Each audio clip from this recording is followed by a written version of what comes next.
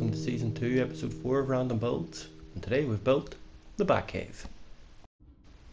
As you might have been able to tell from the title, none of the space is above ground.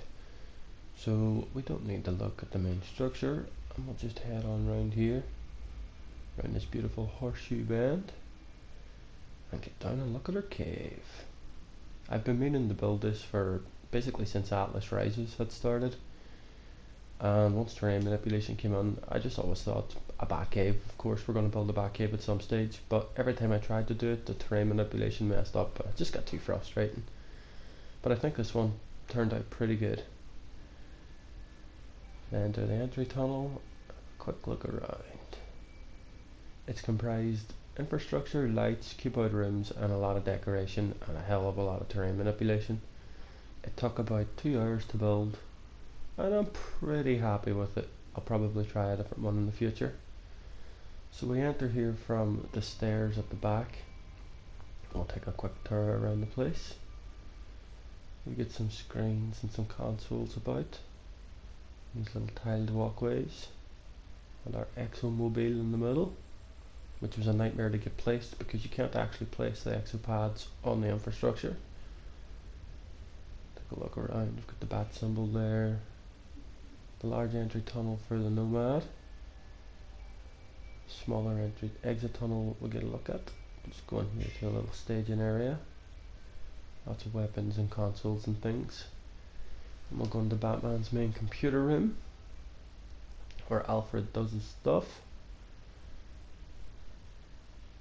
And we find that the planter greenhouse room worked perfect for this with its tilted walls and circular structure. We just got some consoles and things. There's seats.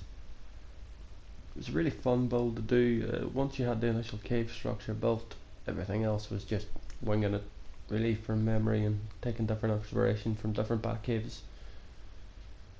Just take a look around here. The terrain manipulation itself, as I said, was very frustrating, but once you get the hang of it, it can open up to some great bases. We'll go in here to the laboratory. Just can pass some more consoles and storage. I imagine Batman has a lot of random things about the place. Just got that upper deck and we'll go into the lab. Basically just got some little consoles which are of course the specialist terminals but Batman doesn't keep any specialists about. We'll go on down here to of course the little bat bed.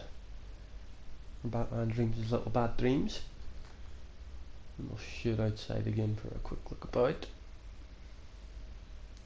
And cuboid rooms really took up the most space in this build as they take up about 7.5% each of your build limit. This of course reaches 98. Get another look at the symbol. It's made out of lights of course. And we'll head on here to Batman's ready room which is of course where Batman will get his gear and what have you, his little toys and stuff and little gadgets to set himself out in whatever mission he's on. Just get some weaponry and thought what would a little ready room look like and this is what we came up with. Hopefully Hello Games will add some more building options in future. We can get really intricate with our random builds. That'll do for the ready room. Pretty simple with the cave walls and everything, it just it just looks really good underground. I might make more underground bases. I'll take a quick jaunt to the other back side. Under this little bridge. We've got another exit which goes deeper underground. If you keep heading through that cave you'll reach the planet's natural cave system. And over here we've got another exit for the smaller exocraft little lights leading out to the base range limit. Some more little walkways. We were going to do some terrain manipulation on down, but it really does affect frame rate.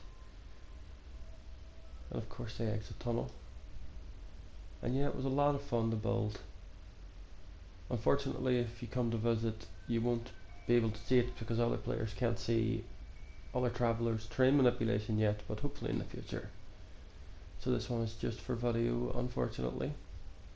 But that'll just about do it. I hope you enjoyed it. I hope you have a fantastic Christmas.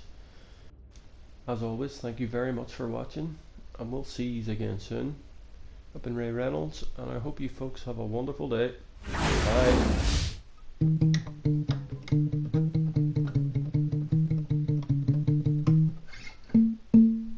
Thanks for watching, folks.